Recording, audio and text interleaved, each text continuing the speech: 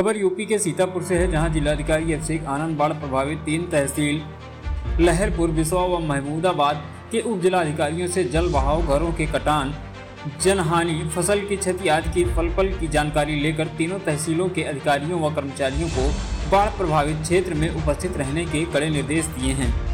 मुख्य चिकित्सा अधिकारी डॉक्टर हरपाल सिंह को निर्देशित किया है कि प्रभावित क्षेत्रों में लगाए गए स्वास्थ्य शिविरों में दवाओं की उपलब्धता के साथ ही स्वास्थ्य कर्मियों की उपस्थिति बनी रहे।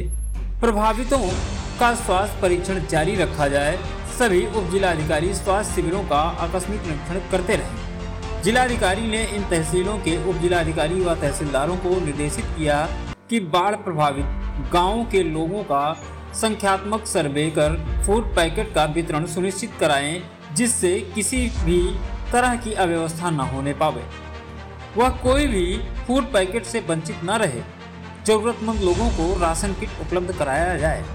शारदा नदी में नदी का बहाव दाएँ किनारे पर अत्यधिक होने के कारण तहसील बिस्वा की ग्राम पंचायत रतनगंज में स्थित बाढ़ बचाव कार्य को शारदा नदी द्वारा नुकसान पहुँचाया गया था, जिस पर विगत एक सप्ताह से दिन रात कार्य किया जा रहा है।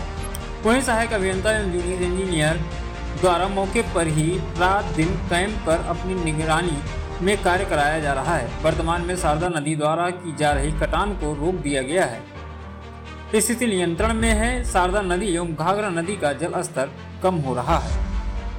सीतापुर से जनमत न्यूज़ के लिए अनूप पांडे की रिपोर्ट।